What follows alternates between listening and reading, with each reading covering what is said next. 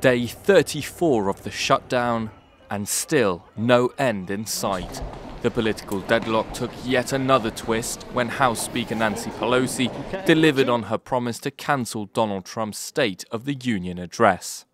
We said very clearly from the start, uh, when I wrote to him the second time to say, since government is shut down, we do not let's let's work together on a mutually agreeable date when we can welcome you to the Capitol to get rid of the State of the Union address.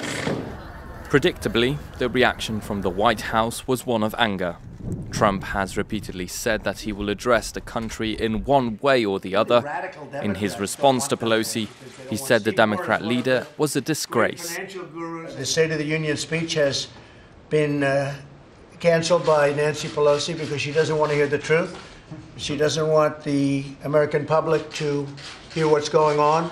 So Nancy Pelosi, knowing these facts and knowing it's something that she can't win, that she just went out and said, let's cancel for the first time in the history of our country, let's cancel the State of the Union address.